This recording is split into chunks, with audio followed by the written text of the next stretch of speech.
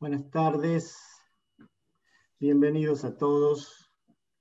Eh, yo soy Alberto Núñez, soy director de la Fundación del Tucumán.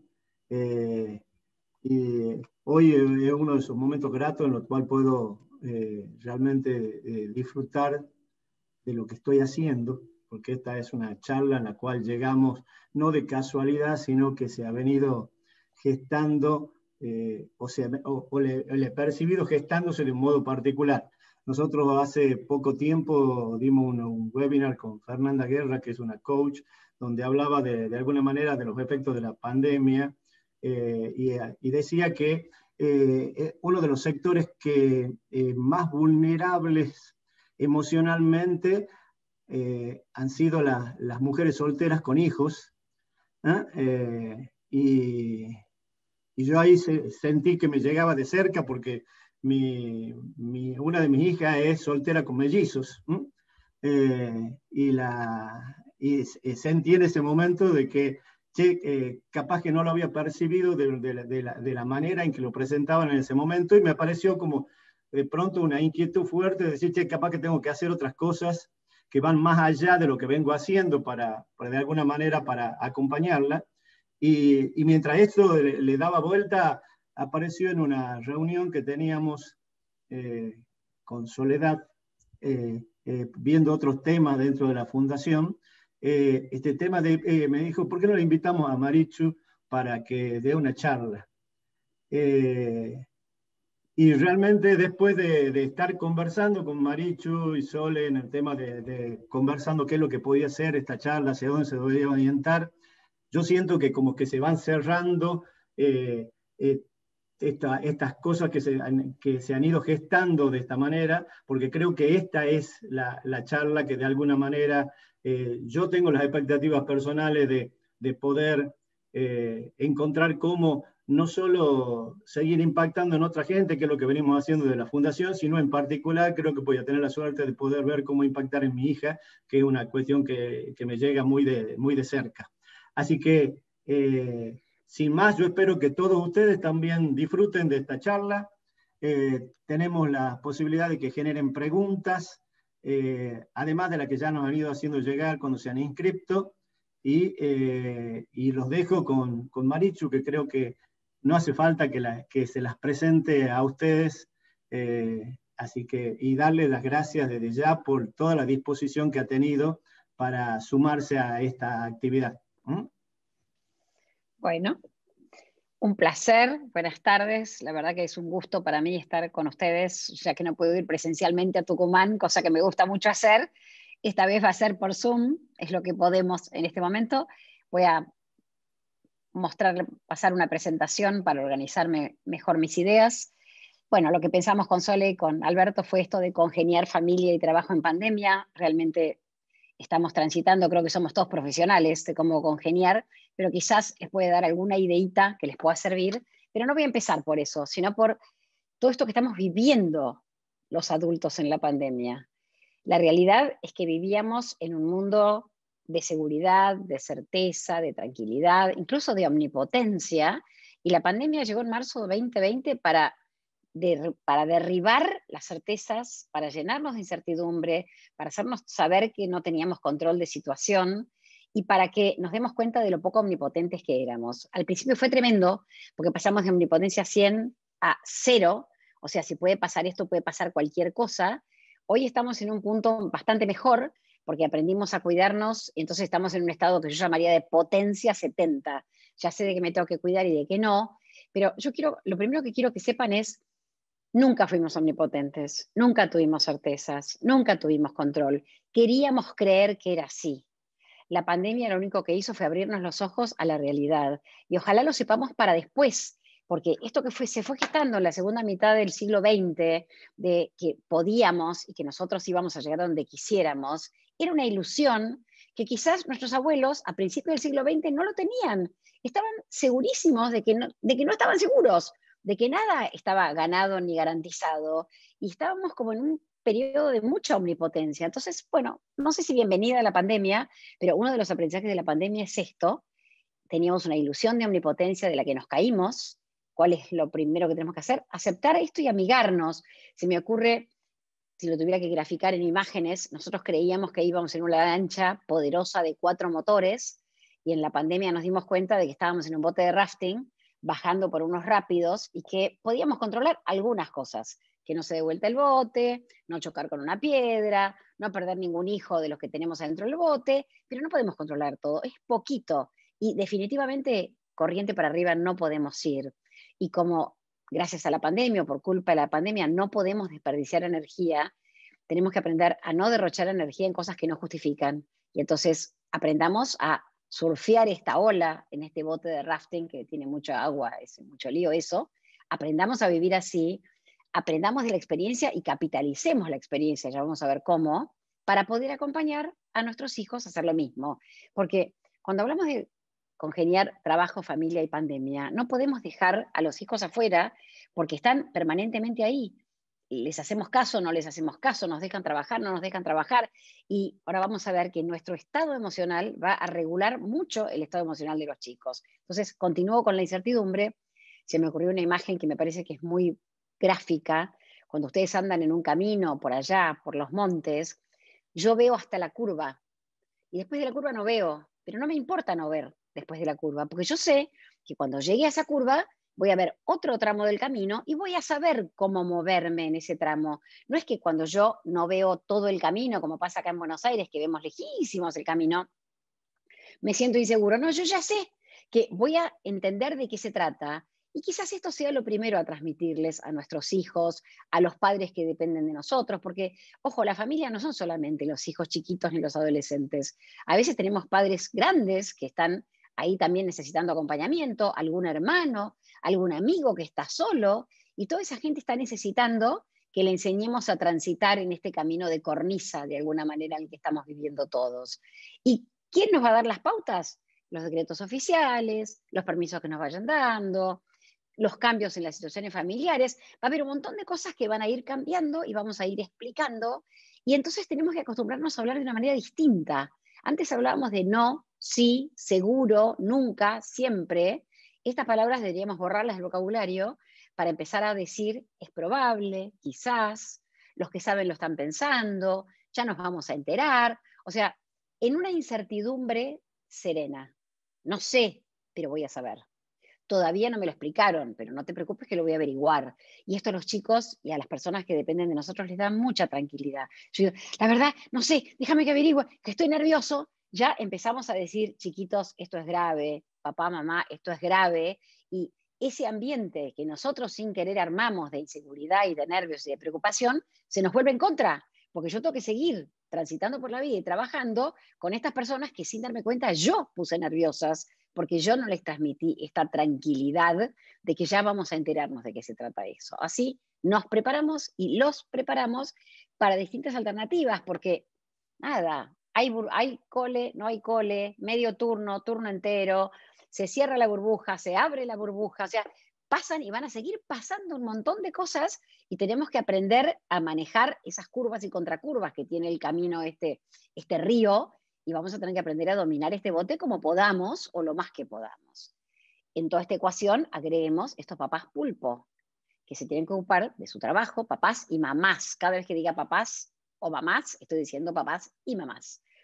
Su trabajo, que muchas más mamás hoy trabajan que hace unos años, la casa, la comida, la ropa, el orden, las compras, el bienestar de los adultos, porque los adultos tienen que estar bien para que sus hijos estén bien. Entonces, para eso cómo hacemos con nuestro disfrute y con nuestro descanso, la disciplina con los hijos, la escolaridad, que se diviertan, que también se aburran un poco, el estado emocional de nuestros chicos, el estado emocional de nuestros padres.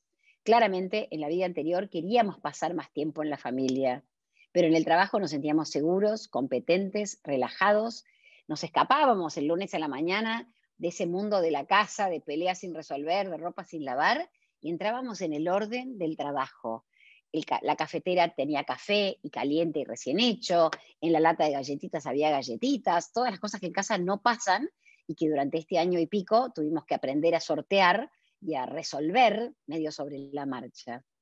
Nada de esto es fácil y los papás solo tienen dos brazos, pero tienen que actuar como si tuvieran ocho, porque tienen muchas cosas que resolver y por eso de lo primero que voy a hablar es de cómo se cuidan los adultos, no tanto de cómo cuidan los chicos.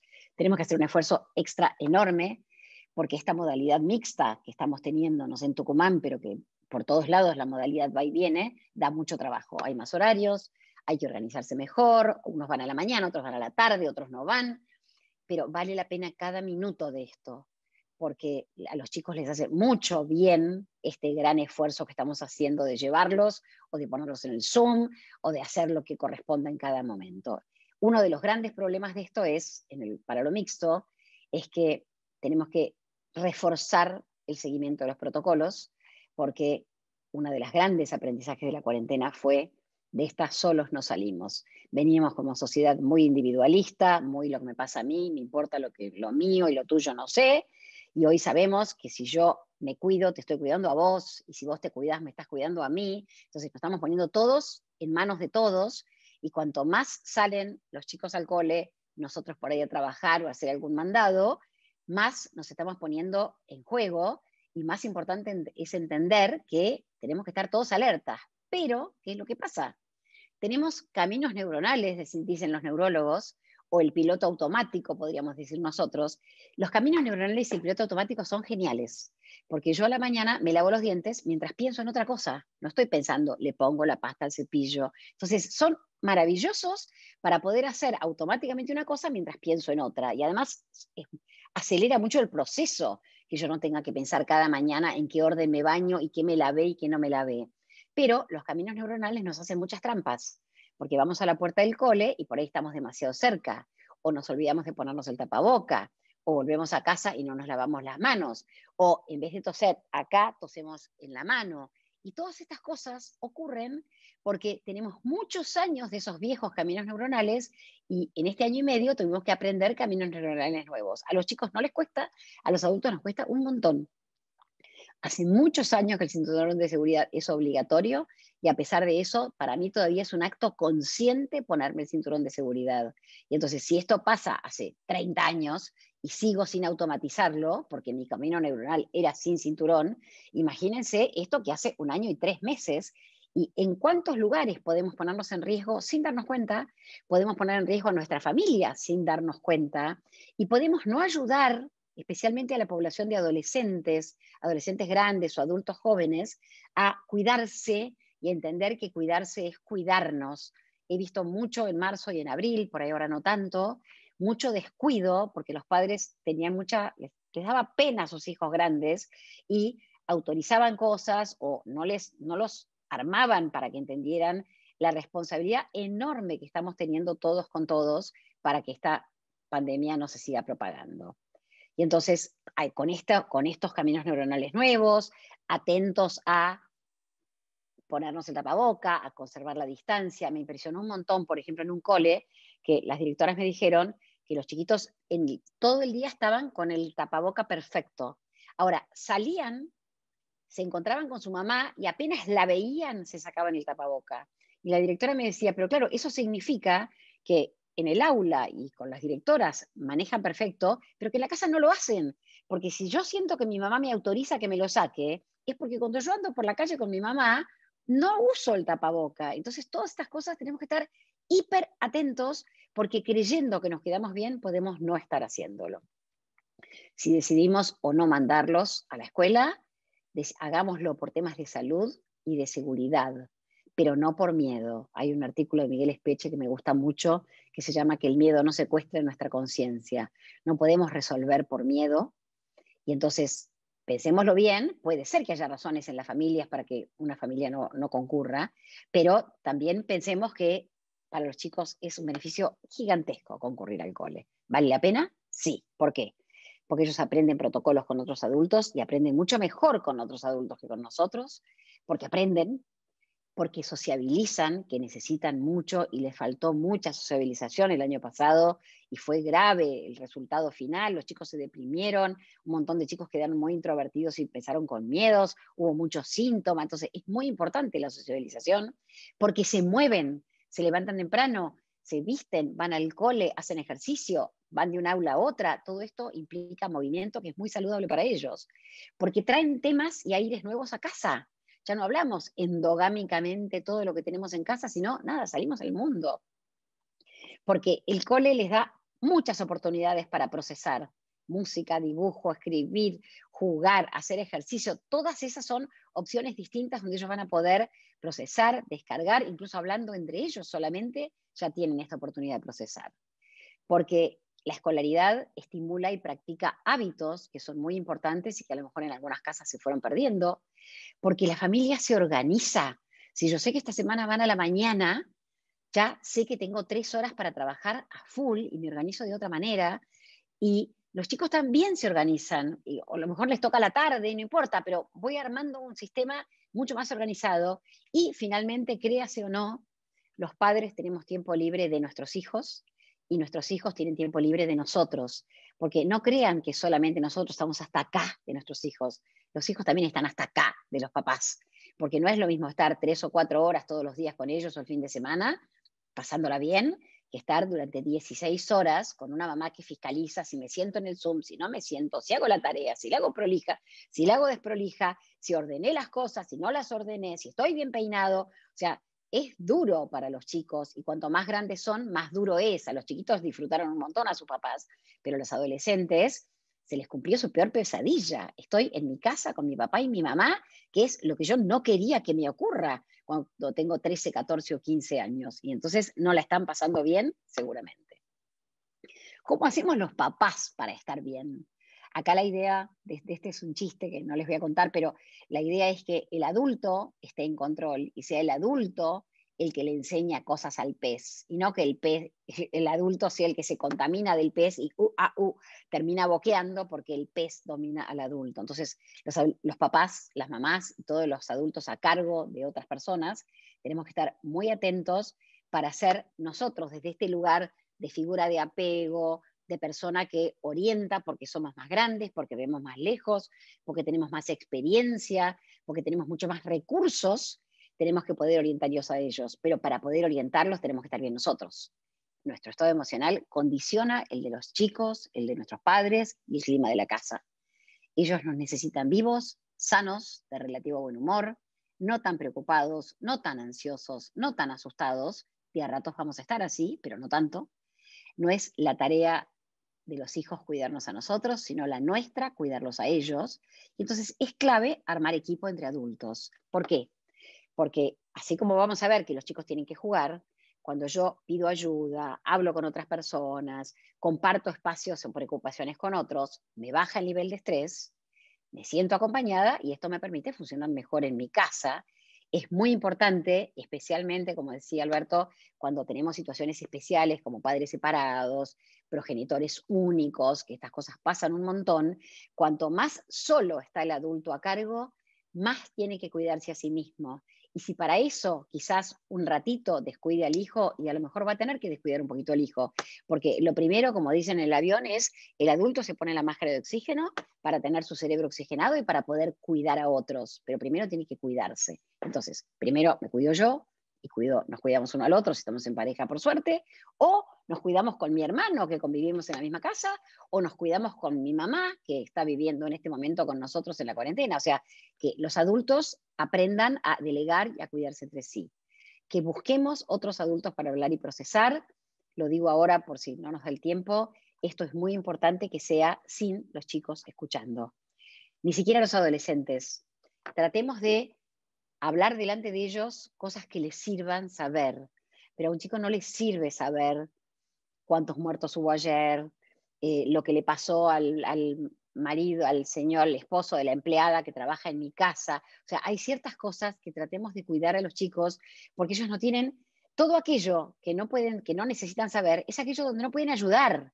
Tienen que saber que a mamá le duele la cabeza y entonces ayúdame a poner la mesa pero no necesitan saber cosas que ellos no pueden resolver y no pueden hacer nada al respecto. Y nosotros sin querer a veces hablamos y nos olvidamos que ellos están. Entonces, si queremos estar bien nosotros, tenemos que conseguir que los chicos estén bien. Y para que ellos estén bien, tenemos que cuidarnos mucho de qué hablamos y dónde hablamos y delante de quién. Y voy a decir también después, lo digo ya y ya después no lo digo, las pantallas. Ojo a los canales de televisión, ojo a los noticieros, porque esto también los llena de una información que ellos no pueden procesar y que los puede angustiar un montón.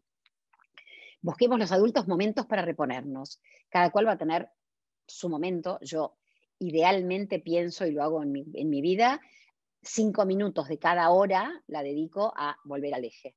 Y a veces va a ser la ducha larga, a veces va a ser, me, tiro en el suelo hacer unas respiraciones profundas, otras veces hago un par de ejercicios de yoga, alguna otra vez miro Pinterest para divertirme un ratito.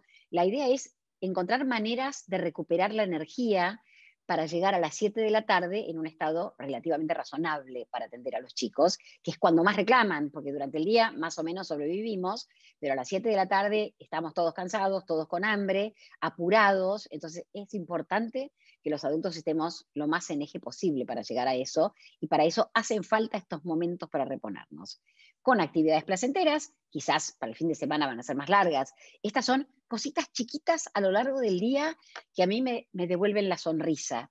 Y si yo estoy trabajando en mi cuarto y tengo que salir a ver a mis hijos, es preferible que no me apure y me quede cinco minutos más en mi cuarto haciendo esto, estas respiraciones, o poniendo al día el WhatsApp, o haciendo lo que que hacer y salga disponible, 100% disponible. Ellos nos tuvieron en casa y al mismo tiempo no nos tenían porque estábamos ocupados y no los podíamos atender. Entonces es muy importante que cuando nos vean, sí estemos disponibles. Y para eso a lo mejor hay que quedarse, a pesar de que uno dice, no, los quiero ver, que hace mucho que no los veo, hace mucho que no me ven, a veces es preferible quedarse cinco o diez minutos más adentro, pero salir cuando estamos realmente disponibles. Cuando uno iba a trabajar esto era muy fácil, porque desde que salíamos a trabajar hasta que llegábamos a casa, teníamos tiempo para hacer todas estas acomodaciones. Hoy el tiempo es abrir la puerta y me los encontré. Entonces, es importante que antes de abrir la puerta yo esté listo realmente para acompañarlos, para escucharlos, para conversar con ellos, para ayudarlos en lo que necesitan o para pasarla bien. Resignifiquemos muchas de las tareas que hacemos. Tengo el recuerdo de, madre joven, de haber estado al borde de mis fuerzas físicas y dije, bueno, pongo sobre la mesa todo lo que tengo que hacer y, veo qué cosas sigo haciendo y cuáles no. Y las retomé todas y yo creo que este es un buen momento para esto. Desde cocinar, a veces ordenar, quizás ayudar a algún hijo en la tarea, cosas que podríamos decir, ay, tengo que, tengo que, tengo que. Si tengo que, no lo hagan. Busquen otra solución, busquen una maestra particular, encuentren otra respuesta. Hagan lo que les guste hacer. Pero lo que me sorprendió a mí cuando yo arrojé sobre la mesa todo lo que hacía y lo volví a tomar todo, es que todo lo que arrojé sobre la mesa era lo que tengo que hacer. Y lo que retomé fue, quiero, yo elijo, elijo hacer yo la comida, elijo ir a buscarlos al cole, elijo porque yo quiero hacerlo. Y entonces fue muy distinto para mí y muy distinto para ellos también, que yo tomara las cosas desde lo que yo quiero y lo que yo elijo y no lo que tengo que hacer, que es muy pesado y que entonces los chicos nos miran y dicen, no quiero crecer. Y además se dan cuenta de que nos están matando, que están abusando de nosotros y es muy pesado eso para ellos. Entonces, en la medida en que podamos, tratemos de hacer las cosas que queremos hacer y tratemos de encontrarle la solución a las que por ahí no tenemos tantas ganas. Y en lo personal, realmente pude resignificar unas cuantas cosas. Tener más control sobre mi casa, lo que comíamos, lo que no comíamos. Me hizo mucho bien y le hizo mucho bien a, mi, a la pareja. O sea, estamos muy bien en este momento porque pudimos resignificar estas cosas que por ahí no hubiéramos elegido naturalmente, pero que cuando las tomamos dijimos, ah, no está tan mal hacer estas cosas. Bajar expectativas es clave. Y bajar expectativas tiene que ver con nuestra autoestima. Que no me preocupe tanto el orden, que no me preocupe tanto tantas cosas, que yo tengo la expectativa alta porque yo tengo mi propia expectativa alta. Si yo bajo mi expectativa de orden, de perfección, de que todo esté bien, probablemente también les, pida menos a los hijos, y vivamos en un clima más agradable. No estoy diciendo laissez-faire, cualquier cosa vale, pero hay un nivel de expectativa pre-pandemia que hoy tenemos que bajar un poco para poder llegar con cierto ánimo y sin acogotar a nadie al final de todo este proceso que promete ser largo y que el año pasado fue difícil, pero teníamos la ilusión de que, bueno, falta poco, falta poco. Este año ya sabemos que es largo y entonces realmente está más difícil en el 2021 que lo que fue en el 2020. Resumiendo, somos como la gallina de los huevos de oro. Tenemos que seguir cuidándonos para seguir produciendo huevos de oro, para seguir atendiendo a toda esta gente que queremos y que depende de nosotros y que nosotros queremos cuidar. Si lo tuviera que poner en palabras económicas, ya que acá hay muchos empresarios, diría, tenemos un capital energético, los seres humanos, de alguna manera me imagino, no es verdad, que nuestro capital energético genera intereses Cuando yo gasto intereses de mi capital energético, no me descapitalizo. Mi capital sigue generando intereses y sigo en equilibrio. Pero cuando yo empiezo a gastar capital, entonces pongo un ejemplo. Llego, termino de trabajar a las 8 de la noche fundido y salgo del cuarto y mi hijo me dice, papá, por favor, llévame a la casa de fulano porque tengo que buscar la carpeta de matemáticas para copiarla porque si no, me van a reprobar, me voy a llevar matemáticas a diciembre, a marzo y a julio del año que viene. Si yo tengo intereses, o sea, estoy de buen humor, tengo energía, no estoy cansado, lo llevo. Pero si estoy al borde de mi fuerza, tengo que decirle, no, no te llevo. Resolverlo de otra manera, porque yo hoy no tengo energía para poder llevarte. ¿Por qué? Porque si lo llevo y no tengo resto, nos vamos a pelear en el auto. Si cuando volvemos no copia la carpeta sin parar un minuto, no levanta la nariz de eso, me voy a poner furiosa. Y entonces es muy importante que tengamos muy claro si tenemos resto para hacer lo que los chicos piden o si no tenemos resto. Obviamente, si tengo un chiquito de menos de tres años, si tengo un chiquito internado, si todas esas cosas mm, gasto capital y no tengo más remedio que gastar capital. Pero muchas veces sin querer gastamos capital pudiendo no gastarlo y no nos damos cuenta que nuestro primer proceso es cuidarme a mí para poder seguir cuidándote a vos durante mucho más tiempo. Resumiendo esta etapa, esto, etapa esto de lo que dije, lo mejor es enemigo de lo bueno. Vayamos despacito entendiendo que durante bastante tiempo quisimos hacer lo mejor y hoy tenemos que estar tranquilos con lo bueno, porque lo bueno nos conserva la sonrisa, lo bueno hace que el clima de la casa sea más cordial y más agradable, y esto es un círculo virtuoso. Cuanto mejor es el clima de la casa, mejor estamos nosotros, mejor podemos trabajar, mejor rinden ellos en, en el colegio, entonces, es muy importante que el clima mejore y para eso nosotros tenemos que estar muy equilibrados. Bueno, ¿cómo hacemos para sostenerlos? Hay cierta cantidad de, tiempo, hay cierta calidad, hay quien dice que alcanza con que la calidad sea buena, aunque sea poca la cantidad. Sí, pero hasta cierto punto. Los chicos chiquitos necesitan muchas veces, quizás poco tiempo, los más grandes les alcanza con pocos encuentros de ratitos un poco más largos. Entonces, es importante encontrar la manera de poder atender a esos chiquitos en este poco, poco rato para llenarlos de mí y poder seguir trabajando un rato más. Revisar las exigencias, ya dije, elegir y renunciar fuera de la cuarentena, fuera de la pandemia, uno dice, no, tengo chicos chiquitos, mejor el coro vuelvo dentro de dos o tres años. O el curso de inglés mejor lo hago dentro de cinco años. Entonces, estamos acá en lo mismo. Elijamos, renunciemos, la pandemia no va a ser eterna, posterguemos, porque las cosas van a volver. Esto no es el fin del mundo. Vamos a poder volver a hacer esas cosas que elegíamos, pero qué importante hoy es estar tranquilos, en equilibrio y no, agregando cosas que no son las más necesarias en este momento. Sí, es importante que nos involucremos mucho cuando estamos, esto que yo les decía, salir del cuarto o volver de trabajar con disponibilidad, para que les queden realmente, si yo ofrezco buena calidad de papá o buena calidad de mamá, este chico me va a dejar un ratito contestar un mail o contestar un WhatsApp o algo. ¿Por qué? Porque tiene reservas de adulto disponible adentro de sí. Y es clave que los problemas queden afuera, aunque sea por un rato. Si yo no terminé de trabajar, está bueno que de 7 a 9 corte 100%, salvo si es una emergencia, me van a llamar por teléfono y me lo van a decir, y que de 7 a 9 esté 100% disponible, los acompañe a bañarse, a comer, a acostarse, a los más grandes en alguna ayuda que puedan necesitar, para a las 9 en horario de protección al mayor, cuando ya logramos que la casa se aquiete, que los chiquitos estén en la cama, que los grandes estén en su cuarto, nosotros podamos volver quizás a nada, terminar el trabajo que teníamos que hacer, terminar los mails que teníamos que responder, porque realmente cuando uno trata de hacer las cosas con chicos que se nos vienen encima, ni trabajamos ni nos ocupamos de los chicos. Por eso es importante encontrar equilibrio para estas cosas. Bueno, ¿con quién podemos armar equipo además de con nuestra pareja? Eh, porque la confianza es clave. Qué bueno es poder hablar con estas personas con quienes armamos equipo hasta poder estar ah, ego, estoy tranquilo, esto no me toca a mí, le toca a ella o le toca a él. En primer lugar, con las escuelas. Cuando vamos a las escuelas a atacar, enojados, porque a mi hijo esto, porque a mí aquello, porque ustedes no, nunca lo, lo llaman cuando él levanta la mano en el Zoom, vamos al ataque, lo que recibimos es defensa. El otro adulto no nos puede escuchar porque estamos enojados. Entonces, vayamos a ofrecer ayuda, a pedir ayuda, llamemos por teléfono para sumar.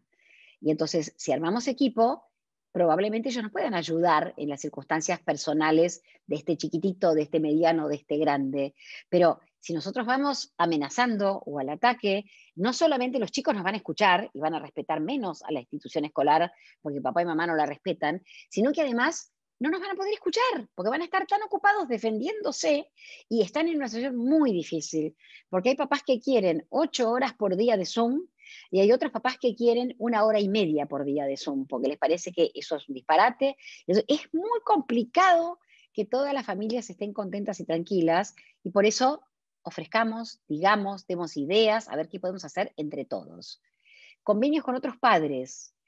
Es muy importante esto, porque el, el tiempo de pantallas, los jueguitos a los que juegan, los programas que hacen. Si nosotros hicimos un WhatsApp de padres y armamos un sistema más o menos parecido, nos va a ser mucho más fácil que cuando el chico de nueve me dice, no, porque a todos los dejan jugar a, la Play hasta las nueve y media y vos en cambio me la pagás a las ocho.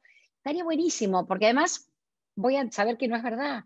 Yo hablé con los papás, todos los papás convinimos en esto, y a lo mejor mi hijo encontró tres o cuatro amigos que no entraron dentro del convenio, que siguen hasta las nueve y media, pero nosotros vamos a saber con quién contamos, para qué contamos, y por supuesto que no vamos a estar de acuerdo con todos, pero yo ya sé con cuáles papás cuento, a cuáles casas lo dejo ir porque me gusta lo, cómo se cuidan del COVID, a cuáles casas prefiero no, sin demonizar.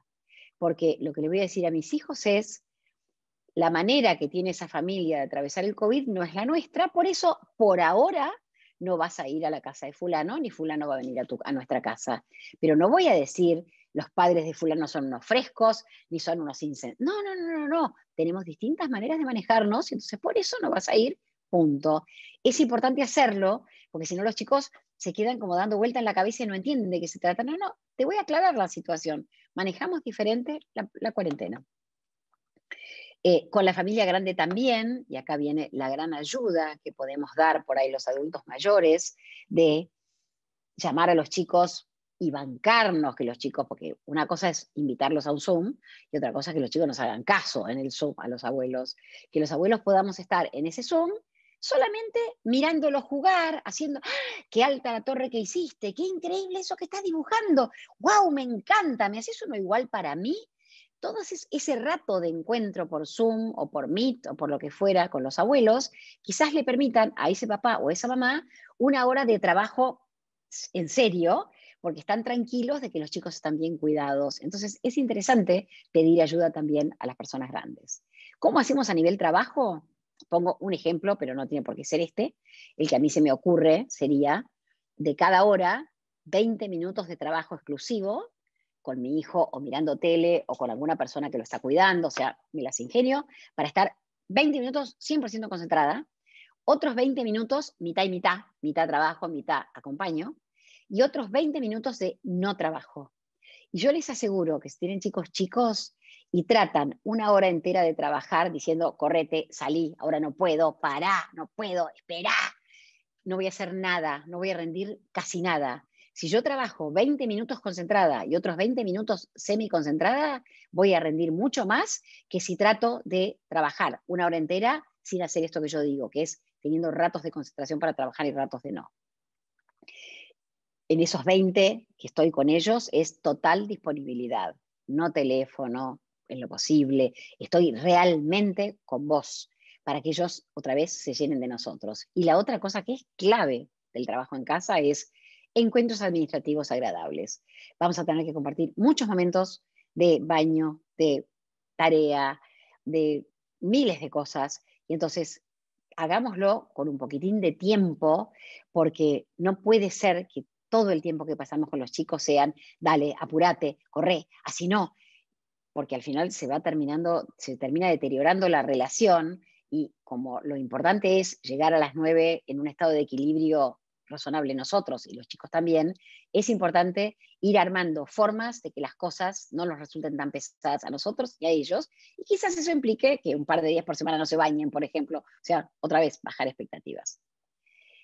Después vamos a tener tiempo para cuando están viendo tele, cuando están acostados o están haciendo tarea, vamos a poder hablar por teléfono, contestar mails o terminar lo del trabajo. Estas visitas por Skype las acabo de nombrar y también tengamos y organicemos tiempos libres, ratitos libres para la mamá sola, en lo posible para el papá solo, a lo mejor para los dos si son parejas sería genial y por eso es clave que a las 9 de la noche realmente empiece esto que llamo el horario de protección al mayor. Que los adultos a las 9 sepan que los chiquitos están en la cama, que los medianos y grandes, los medianos están por acostar, los grandes están en su cuarto y ya saben que, listo, se tienen que arreglar solos. ¿Para qué? Para que esos adultos, entre las 9 y las 11, entre las 10 y las 12, puedan recuperarse o puedan hacer aquello que no lograron hacer durante el día. Algo que pasó mucho en la, en la pandemia y sigue pasando es que trabajamos más horas porque como no rendimos tan bien, lamentablemente estamos más tiempo trabajando y esto los chicos lo padecen un montón. Por eso está bueno que eso ocurra en momentos en que ellos no registran que estamos trabajando tanto. Bueno, renuncia ya dije, el duelo es clave. Siempre tuvimos que hacer duelos por muchísimos temas. Esto tampoco es de la pandemia. Cada vez que yo elijo estar con ustedes, no elijo estar mirando una serie de televisión. O sea, todo el tiempo están haciendo duelos. La pandemia lo que hizo fue wow, son duelazos, no duelos. El chico de quinto año de colegio que tuvo que quedarse sin viaje de egresados o sin fiesta de egresados. De todos modos, es importante que procesemos nuestros duelos para poder acompañar a los chicos en los de ellos. Y esto es clave porque si yo niego, niego, niego o me desespero, al final tampoco puedo ayudar a nadie. La ayuda ya lo dije, revisemos nuestras respuestas reactivas y automáticas, quizás en otro momento yo hubiera podido llevar a mi hijo a la casa del amigo a buscar la carpeta, porque no estaba tan cansado, porque tenía todo mi trabajo en orden y, al día, pero quizás hoy no pueda. Entonces, aquellos modelos que fueron eficaces hasta marzo 2020, quizás hoy los tengamos que revisar y armar nuevos caminos neuronales, nuevas respuestas que no son las automáticas o lo que hacían nuestros papás cuando nosotros éramos chicos. Quizás tengamos que ofrecer menos calidad, pero mejor humor, que es clave el mejor humor. Eh, hace un rato les decía revalorizar las cosas que hacemos. Los orientales tienen, valorizan un montón las actividades del sostén de la vida, la huerta, la cocina, el cuidado de los chicos y la enseñanza. Los occidentales valoramos mucho la producción. Qué interesante es esta oportunidad que nos dio la cuarentena de reconsiderar esta tarea de sostén de la vida y no solo para hoy, sino quizás de ahora en adelante, como hacen los orientales o como hacen los monjes. Los monjes también le dan un enorme valor a estas tareas de sostén de la vida y cuando hacen la huerta están meditando, pensando, rezando. O sea, hay un montón de cosas que ocurren cuando estamos haciendo esas tareas que son muy sanadoras para todos. Bueno, en lo posible, cuando estamos en casa y con nuestros hijos o con nuestros padres o con quien dependa de nosotros, estemos aquí y ahora, tratando de dejar de lado las preocupaciones pasadas o futuras para poder estar y disfrutar esto y eventualmente decir, no puedo y no puedo. Y ahora vienen un par de diapositivas que me parecen muy importantes, que son, yo dije, somos pulpos con ocho manos, no nos alcanza la energía, y estas dos o tres diapositivas son para no desperdiciar energía en peleas innecesarias. Entonces, lo primero es Adultos, agrandemos la intersección. Si para una persona en la familia, para un papá es importante el orden y a la mamá no le importa tanto el orden, quizás la cuarentena sea el momento para que el papá afloje un poco con eso y la mamá ordene un poquito más. ¿Para qué? Para pelear un poco menos entre nosotros, porque cada una de esas peleas se lleva mucha energía nuestra. Entonces, armemos un frente común agrandando esta intersección entre nosotros de lo que fuera. Y sumar, y ahí voy a la siguiente porque todo está explicado en la siguiente. Los seres humanos adultos, los chicos también, con los hijos pasa igual también esto, estamos un ratito juntos y entramos en cinchada.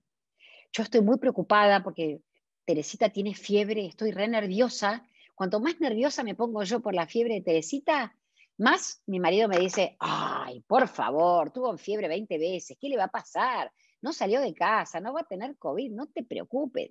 más nerviosa Teresita, menos nervioso él. Eh, la cinchada es un fenómeno natural. Yo soy muy puntual, el otro rápidamente suelta el reloj. yo me gusta mucho salir, el otro va a tender a quedarse en casa.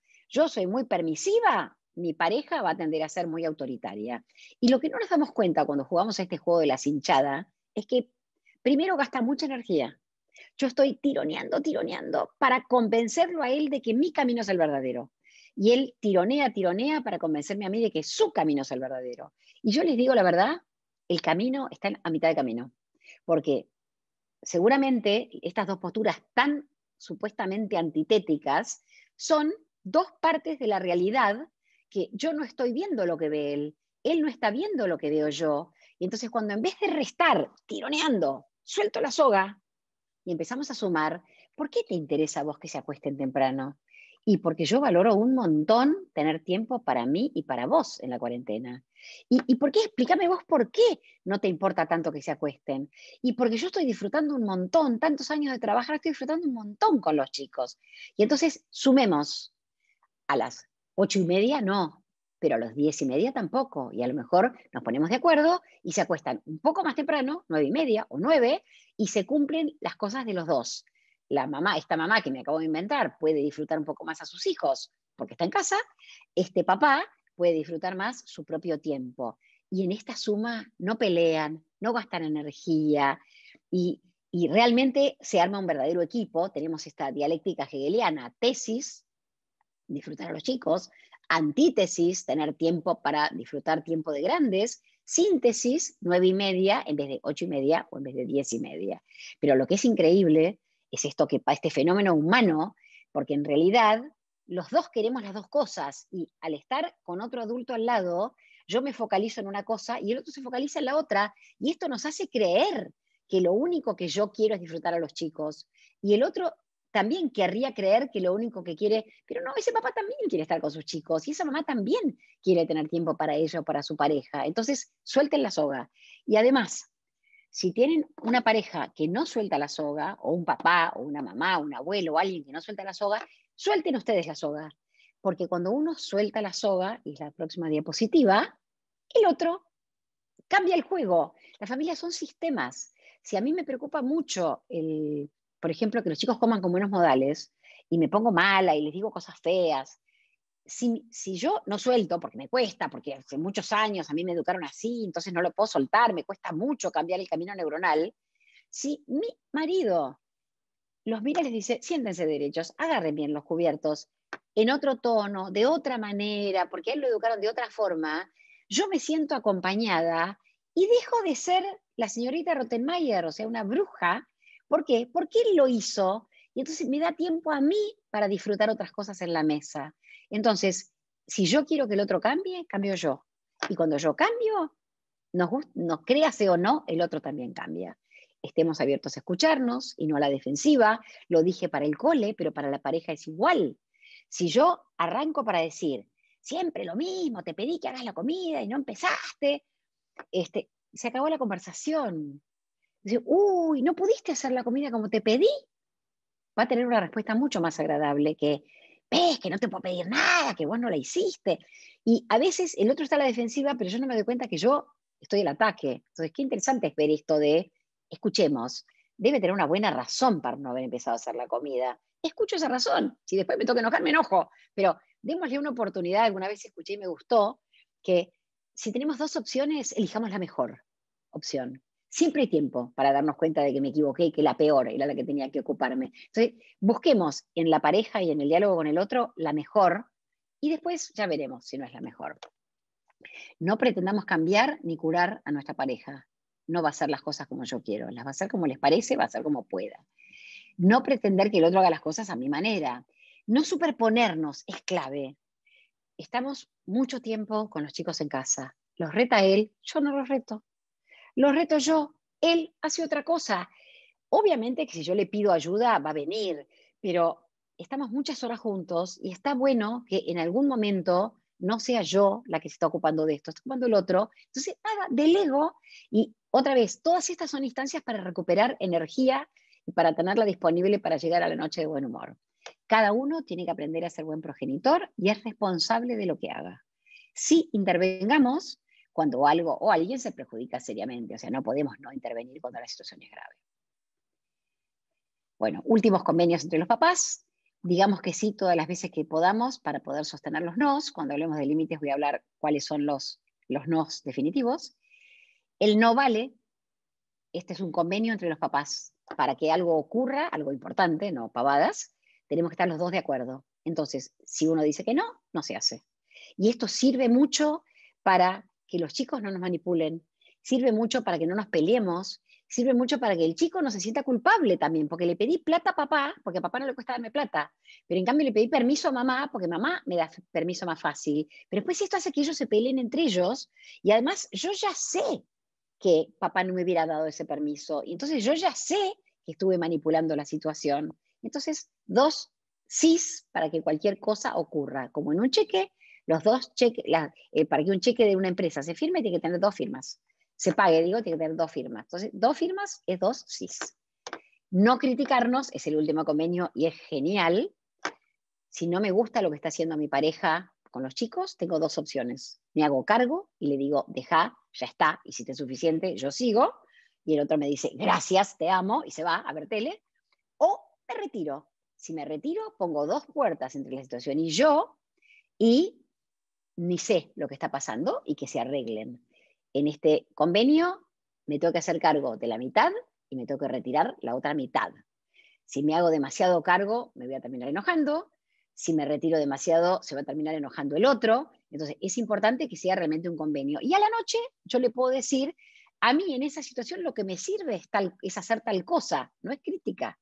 Lo único que le falta a un papá que tiene la tropa desquiciada en el baño es que la mamá lo mire y le diga, ¿A vos te parece, con todo lo que hablamos de no gritarles y no amarrearlos, mira lo que estás haciendo? Pobre hombre, lo que él necesita es que la mujer le diga, deja, deja, gordo, anda nomás que yo sigo, y lo va a ayudar un montón. O necesita que ella se vaya, no critique, y él encuentre la manera de resolver esa situación que se está costando trabajo. Bueno, con los hijos, por eso les decía cuáles son los nos. Tengo que decir que no en temas de salud, tengo que decir que no en temas de seguridad, tengo que decir que no en temas de ética, o sea, lo que está bien y lo que está mal, y tengo que decir que no cuando decir que sí afecta el bienestar de todos. Y entonces, en estos cuatro temas, digo que no. Y en todos los demás temas, digo que sí. Si el chiquito quiere cambiar el vaso verde que yo le serví en Nesquik, no le gustó y quería el amarillo, pues paso en Nesquik al vaso amarillo. No tiene que ver ni con salud, ni con seguridad, ni con ética, ni con bienestar familiar. Entonces, no nos compliquemos la vida sin necesidad, cambiemos de vaso y dejémoslos equivocarse porque los chicos aprenden de sus errores y esto es clave a nivel escolaridad. Qué importante es que ellos para, para los dejemos hacer las cosas como ellos las hacen, me quedé sin tiempo, voy rápido a decir, los límites son importantes y lo aprendimos y es clave que pongamos buenos límites con consecuencias claras, sin enojarnos, con mucha empatía. Es importante, ya lo dije, esto sí, que tengan buena información y que nosotros antes de contestar les preguntemos. Es importante, clave, que antes de responder me paren los zapatos del hijo, de mi padre, de mi jefe, de mi hermano, de mi cuñado, para decir, wow, me pongo en tus zapatos, miro el mundo como vos lo mirás y recién ahí respondo. Y cuando uno responde, habiendo pasado por los zapatos del otro, habiendo tratado de entender por qué lo dice así, qué es lo que está diciendo, qué es lo que está pidiendo, vamos a responder más amorosamente, con nuestro cerebro más integrado, mucho mejor que si respondemos con el viejo camino neuronal de acá yo mando y yo decido hacer lo que yo digo. No hay pensamientos, deseos y sentimientos equivocados. Todo vale. La idea es comprendo y delimito. Y los voy ayudando a salir de las situaciones como pueden y a salir de ese cerebro primitivo en el que quedan atrapados cuando se enojan o se asustan. Lo dije un poquito esto también, qué interesante es convertir las rutinas de todos los días en rituales. Un ritual es una rutina que tiene sentido y entonces que la tarde sea, no digo una fiesta, pero un momento en el que todos estamos ayudando a ordenar, o ayudando a poner la mesa, o ayudando a todo. Armemos rutinas estables para que los chicos sepan a qué atenerse, cuál es la hora de comer, cuál es la hora de ver la tele, cuál es la hora de bañarse. Y pidamos ayuda. Papá y mamá que trabajan necesitan que los hijos pongan la mesa, saquen la mesa y colaboren. Entonces pidamos ayuda justamente para que la gallina siga viva durante muchos años más démosle oportunidad a los chiquitos de jugar, de dibujar, a los más grandes de dibujar y escribir, a los más grandes todavía de charlar. Ellos necesitan procesar todo esto que están viviendo. El, amigo le contó que la abuela está muy enferma y muy grave, el otro amigo le dijo, nada, es muy importante que ellos puedan, jugando, representar las situaciones, las normales, pero también las temidas, y nosotros también vamos a enterarnos de lo que nos pasa. Y entonces yo no digo menos pantalla porque soy una hincha de poca pantalla. La pantalla entra e intoxica. Más juego, más charla, más dibujo, es desintoxicar, es procesar.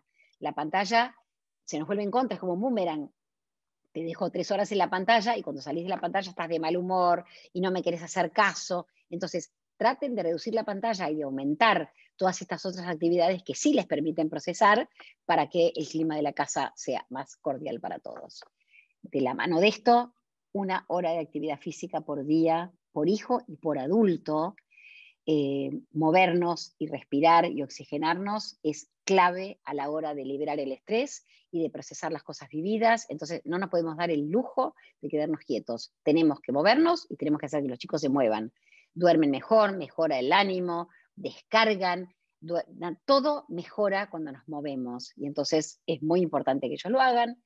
El casi último, este tiempo de calidad, pero de esto ya hablé, ofrézcale tiempo de calidad a sus hijos, ofrézcanse tiempo de calidad a ustedes para poder seguir en carrera.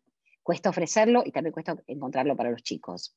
Y ahora sí, el último, estos encuentros cuidados, ya dije un poco con abuelos, si van a ser presenciales, que sea siguiendo protocolos, con pocos chicos, al aire libre. Si somos modelo temeroso, vencemos nuestro miedo porque a los hijos les hace bien verse un poco si somos modelo insensato, recuperemos la sensatez. Y entonces a los chicos más insensatos ayudémoslos a pensar, a los chicos más temerosos ayudémoslos a salir, porque es importante que de alguna manera puedan encontrarse entre ellos porque es muy sanador para ellos también. Ahora sí terminé, esto también pasará. Y esta frase tiene una doble faz interesante. Esto que es difícil va a pasar, pero las cosas lindas también pasan. nada dura, ni lo lindo ni lo feo. Pero bueno, esto que es complicado puede seguir todavía un tiempo y nosotros tenemos que durar con humor, con ganas de estar en casa y aceptar esta nueva forma de vivir y de trabajar. Y ahora sí, termino, saco y vamos a las preguntas. Bueno, muchas gracias Marichu por esta, esta charla. Como, como decías vos, ¿no? O sea, eh, empezaste y disparaste un montón de ideas, ¿no? Eh, está muy bueno. Eh, Sole, vos tenías alguna de las preguntas que nos han hecho llegar. Se puede habilitar el, sonido, ahí está. Sí, bueno, Marichu, te hago llegar algunas preguntas que, fueron, que nos fueron escribiendo.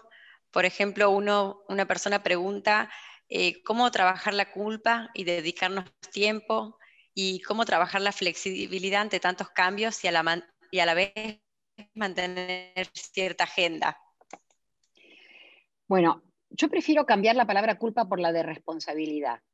Cuando uno se siente culpable, toma malas decisiones, porque como me siento culpable, le traigo regalitos, como me siento culpable, me parece que es importante que yo me haga responsable de las situaciones y que le piense las cosas desde ese lugar. Yo sé que esto es importante para todos y ahora estoy fallando, pero no me siento culpable. Me hago responsable de esto y sé que el fin de semana voy a poder devolverle lo que no le di durante la semana. Y entonces está bueno cuando sentimos culpa, respirar hondo y decir, no, culpa no, yo me hago, esto es importante, lo hago, me hago responsable. No es importante, lo dejo, entonces dejo de sentir culpa. Y la flexibilidad se trabaja, creo que la venimos trabajando desde hace un montón de tiempo, que tiene mucho que ver con, esta capacidad de resiliencia. Entonces, en la medida que aprendemos a esperar, a esforzarnos, a frustrarnos, a pasarla mal y a sufrir y acompañamos a los chicos en esto, los estamos haciendo fuertes y más flexibles y es uno de los buenos efectos de la cuarentena. No nos pasa a todos porque cuando si estamos muy superados por lo que nos pasa, o sea, madre sola, problemas económicos, o sea, cuando tenemos problemas muy serios, es muy difícil crecer en la flexibilidad porque estamos en supervivencia absoluta. Pero en la medida que podamos, aunque sea de a rato, salir de la función supervivencia, vamos a poder ir haciendo crecer esta flexibilidad con paciencia y con compasión por nosotros mismos. Tengámonos piedad a nosotros mismos. Hacemos lo mejor que podemos y a veces lo mejor que podemos no es demasiado bueno. Muchas gracias. Acá tenemos otra pregunta. Eh, dice, ¿cómo explicar a una hija de tres años que el lunes va al jardín, que el martes no, que el miércoles sí, que el viernes se queda en casa? Y cómo hacer además entender que también hay que hacer las cosas de la casa, de que tienen clase de Zoom, de que se tiene que limpiar. Bueno. Eh, me la hizo fácil la pregunta, porque tiene tres años. Si me la hacían con un chiquito de un año, estábamos en el horno, porque no, no entienden nada los de un año y es muy complicado. Pero a los tres años pueden jugar. Y cuando juegan, yo en un dibujo le grafico lo de mañana, en un juego le explico, pongo, bueno, no tengo acá, pero pongo como una, una, ensaladerita chiquita para decir la burbuja. O sea, puedo explicar todo a través del juego y un chiquito de tres entiende. Y la otra cosa que puedo hacer con el de tres es comprometerlo que lleve los vasos a la mesa, que me ayude, no me importa que haga todo mal, está haciendo y estamos haciendo juntos, y entonces a partir, yo creo que los papás empiezan a respirar a partir de los dos años y medio, cuando los chicos ya tienen el juego de roles más establecido, cuando ya pueden entender y cuando ya pueden un poquito acompañarnos en las cosas que hacemos, y entonces ya no es tan difícil. Ahora, en sí es clarísimo que año, año y medio es mucho más complicado porque no, no, no, nos entienden y el juego de roles es mucho más básico, entonces no podemos explicarle tantas cosas por el juego. Y que se mueva, perdón, mucho, mucho ejercicio. Hay una pregunta de Fedora que dice que las posturas tan radicales por los cuidados a veces generan problemas en los grupos de amigos. ¿Cómo se puede manejar este tipo de posturas, dice, al, querer, al momento de querer armar alguna reunión? Bueno, ahí tenemos lo que yo llamo cinchada. En vez de cinchada entre marido y mujer, tenemos una cinchada entre dos grupos de familias. Y a mí me parece que hay que entender que esto es así y los que se cuidan mucho quizás podrían ceder un poquito y los que se cuidan poco quizás podrían cuidarse más y aunar criterios o lamentablemente decir, nos veremos cuando termine la cuarentena, porque yo tengo un... Porque además son circunstancias distintas. Si yo convivo con una señora grande, que todavía no la vacunaron o que es de riesgo, a lo mejor me tengo que cuidar un montón, por más que de, por mí mismo yo no me cuidaría. Entonces eso también hay que tenerlo en cuenta. Lo que importa es que no nos enojemos y que no acusemos. Vos sos un fresco, vos sos un relajado, y que no nos enojemos con él. Cada cual tiene su manera de vivir y de conceptualizar, y es respetable, pero también es respetable que yo no, no quiero ir a tu casa porque yo necesito cuidarme más porque tengo mis condiciones personales o familiares hacen que me tenga que cuidar más. Sí, muchas gracias. Acá tenemos otra pregunta que dice cómo manejar la culpa ante, no poder acompañar a los hijos en la educación virtual por estar trabajando afuera. Em, otra vez, no es culpa, es responsabilidad. Uno está trabajando afuera porque es esencial, porque la empresa trabaja, o sea, el circo tiene que continuar, quizás tengamos que encontrar una manera o una persona que nos pueda ayudar para resolver eso. Y por otro lado, si el chiquito está en primer grado o en segundo, a lo mejor lo vamos a hacer durante el fin de semana, eso que no hicimos durante la semana. Si los chicos son un poco más grandes, los hijos de papás que trabajan afuera lo fueron resolviendo y lo van haciendo, y el cole nos avisa cuando el chico está atrasado y vemos cómo lo resolvemos. Yo creo que a veces nos angustiamos antes de tiempo y que si dejáramos fluir sería un poquito más fácil. Eh, Sofía dice, eh, eh, hemos hablado de la dinámica durante el día, me gustaría saber cómo manejar los despertares nocturnos de los niños menores de 6 años. ¿Mm? En general, a ver, es un dato estadístico este, pero la mayoría de las veces los chicos que se despiertan de noche y piden por sus papás o se van a la cama de sus papás, es porque se durmieron con sus papás al lado. Yo no estoy diciendo que hay que decirles, nada, dormite solo, aprende a dormirte solo y grita tranquilo. No, pero sí que es tarea de los papás ir ayudando a sus hijos a aprender a dormirse solos. O sea, primero nos quedamos, después entro y salgo, después te enseño a respirar hondo para que vos te des cuenta que eso aplaca tu, tu mente y te podés ir durmiendo. Entonces, en la medida en que ese adulto le vaya enseñando al chiquito técnicas para aprender a dormirse, Cuando ese chico se despierte, alguna vez va a llamar y alguna vez se va a volver a dormir. Todos nos despertamos de noche. La única diferencia es que yo no lo codeo a mi marido porque yo me sé volver a dormir. Y un chiquito que se durmió con mamá que le daba la manito, no sabe volver a dormirse. Entonces, por eso la llama la mamá. Por eso es clave que en varios meses los vayamos ayudando a independizarse de nosotros a la hora de dormirse.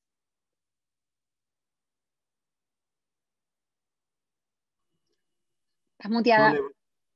Sí. sí, perdón. Una última pregunta que dicen, ¿cómo manejar la ansiedad y la pandemia para mantener la armonía en la familia? Eh, yo creo que es una, cuestión de actitud.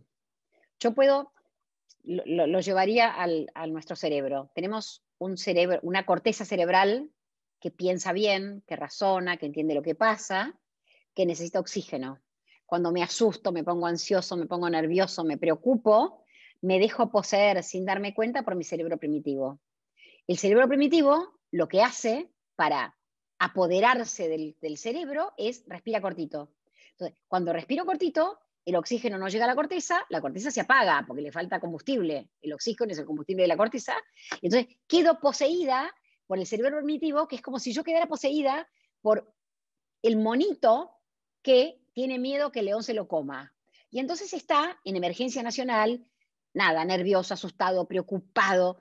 Y si cuando estamos en ese estado pudiéramos acordarse de Marichu o acordarse de las neurociencias y respirar hondo dos o tres veces, vamos a poder filtrar mucho mejor las cosas que son de verdad para preocuparse de las que son las que a mí me ponen nerviosa porque yo quiero que todo esté perfecto y cuando no está todo perfecto me vuelvo loca. Y entonces creo que es clave a lo mejor hacer mindfulness o alguna actividad de estas, tipo yoga, para poder bajar. Pero es cierto que no se trata de decir qué pavada, no te puedes preocupar por esa pavada, porque eso es echarle leña al fuego. La persona que está nerviosa se pone más nerviosa todavía. Si yo a esa persona, desde la empatía, como les dije hace un rato, abrazo y le digo, sí, ya sé que a vos no te gusta nada, que no esté todo listo para mañana, y claro, te pongo los, los brazos en los hombros, respiro hondo y con mi respiración profunda ayudo a que ese otro tan preocupado se calme. Y si ese otro es un niño, es más eficaz todavía, porque mi manera de respirar va a conducir la respiración del hijo. Y entonces muchas veces solamente con no perder la calma, solamente con que no perder la cabeza, como decimos nosotros, porque me enojé, porque me dijiste estúpida, o porque pegué un pegaste un portazo, y entonces nada, se me voló a mí mi corteza también y te dije de todo, si yo en vez de hacer eso, respiro hondo y digo, wow, ¿cómo se enojó conmigo? Y entro y le digo, ¿cómo te enojaste? Pero en casa no pegamos portazos. Así que ya sabes que como pegaste un portazo, tenés tal consecuencia por haberlo pegado. Eh, vamos a hablar de otra manera, pero es clave que yo entienda que somos seres humanos con una corteza cerebral activa, que cuando nos asustamos, nos preocupamos, nos angustiamos, la apagamos y que la tenemos que recuperar y que la recuperamos con el movimiento y con la respiración. Bien. Eh, hay unas últimas dos preguntas y después vamos a pasar a cerrar la actividad con el sorteo de los libros de, de Dale. Eh, eh, acá dicen, ¿cómo puedo ayudar a mis hijos de 7 y 5? el de 5 tiene síndrome de Down, a que apliquen sus rutinas y no tener que marcarles todas las mañanas es, anónima porque dice que se siente, no se siente con culpa, se siente una bruja, dice, porque todos los días le tiene que repetir lo que tienen que hacer. Yo le diría a esa mamá que haga un pictograma, o sea, un dibujito con todas las cosas que hay que ir haciendo y que les haga un concurso. A ver cuántas cosas se acordaron. Y si vos durante 15 o 20 días haces como una especie de, comprobación. Hoy te acordaste tres, mañana te acordaste cuatro, y el día que te acordaste todas, te pongo un puntito a favor. Eh, en, en, 20 días es probable que los chicos se acostumbren. Cuando nosotros nos enojamos, los chicos casi no lo hacen por venganza, pero no aprenden. Aprenden del buen modo, del... entonces, si lo convierto en un juego, este juego de... Entonces los chicos van a ir a, a mirar el dibujito, a ver qué se acordaron y qué se olvidaron, y es probable que puedan ir tomando hábitos. Y por otro lado, hay chicos que uno se los entrega a la, esposa el día del casamiento y le dice, es un roñoso, no se lava los dientes. O sea, nada, cada uno es como es y no, podemos lograr todas las cosas que nosotros querríamos. Eh, y vamos a la, última, no es porque siguen entrando pero preguntas, pero vamos a ir cerrando.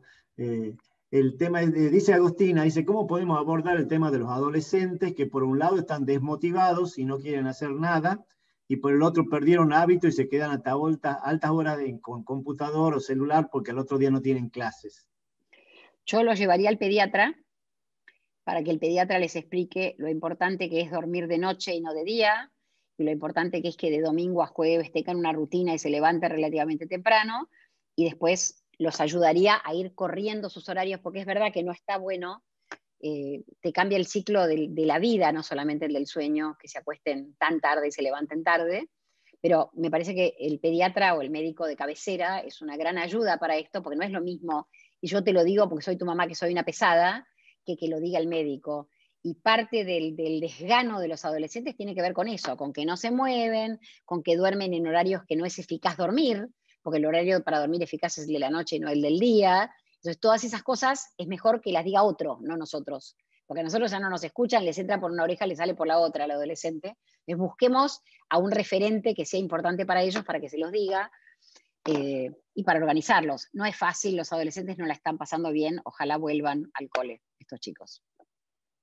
Quiero decir algo porque yo me atrasé y me entusiasmé con lo que estaba diciendo, con lo cual quedó poco tiempo para las preguntas, por lo cual háganme todas las que quieran en Instagram y prometo que con un poquito de tiempo las voy a contestar una por una. Eh, o sea que pido yo disculpas porque me entusiasmé. No, está tremendo, está buenísimo la, la, presentación y, y, uno se imagina que esto, empiezan a surgir dudas y vemos que empiezan a aparecer preguntas de gente que la va pensando en función de lo que va diciendo también. Así que, eh, pero está muy buena esta posibilidad que habilitas del tema del Instagram. Eh, acabo de invitar a, Carolina Ferreira que se sume. Carolina, la la dueña de la tiendita, que es la, eh, la, representante oficial de acá de Marichu en, Tucumán. Así que, y que nos ha aportado el tema de, de algunos libros para que sorteemos entre los participantes. Eh, Daniel va a hacer una, un, sorteo virtual, ¿eh? que Daniel es de la Fundación. Así que Dani, eh, cuando vos quieras, y Carolina, gracias por tu aporte y por ayudar a difundir todo esto, porque en definitiva lo que se está haciendo, tanto vos como nosotros con la Fundación, es, aportar tips, aportar, acercar gente como Marichu para que hacer, hacerla visible y accesible para que todos podamos aprender de esto, ¿no? ¿Mm? Bien. Dani. Sí, gracias Alberto y Sole por invitarme a participar. Y bueno, Marichu, siempre es un placer escucharte, así que acá el último, porque me parece que son, que por ahí muchos no lo tienen todavía y porque es la guía básica. ¿ah? Y como siempre digo, Marichu es para poner en la mesa de luz y leerla todas las noches porque realmente es una guía y siempre le digo lo mismo, pero realmente eh, nos acompaña mucho a todos los papás en la crianza y, a los que estamos en, este camino, ¿no? Gracias, Caro. Bien, bueno, mientras Daniel prepara esto, le, comentamos a todos que sí le vamos a compartir el tema del link del video de, de, esto para que, como siempre digo, y esto para que no, si esto realmente a ustedes les sirvió, compártanlo. O sea, ayuden a que, a que, otra gente que no ha podido estar pueda eh, verlo y, de alguna manera generamos esta cadena de favores que es la que venimos de alguna manera estimulando desde la, desde la fundación como un desafío y un propósito hasta personal, como les decía. Dani está mostrando ahí en pantalla el tema de, este es un soft para hacer sorteo donde están todos los que se anotaron con los últimos tres dígitos del teléfono para que no haya dudas sobre, la, sobre quiénes son y largamos el, el sorteo. ¿Mm?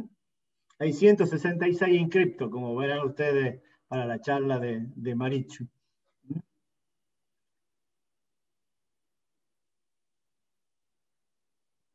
Estos son los cinco ganadores. Eh, hay un varón también ahí. Guillermo se ganó un libro, lo destaco primero. Ah, ah. Eh, Sofía, Sabrina, Valeria y Constanza. Le vamos a mandar por WhatsApp el tema del contacto con Carolina como para que pueda pasarlo a, retirar. Así que, eh, Marichu, muchas gracias por estar acá. Carolina, gracias por apoyar esta actividad. Sole, gracias por la idea. ¿ah? Eh, y, a todos ustedes por haber participado en esto. Y nos vemos en la próxima actividad. Gracias, Alberto. Gracias, Sole. Gracias, Caro. Gracias, gracias Tucumán y Fundación del Tucumán. Y gracias, Tendida.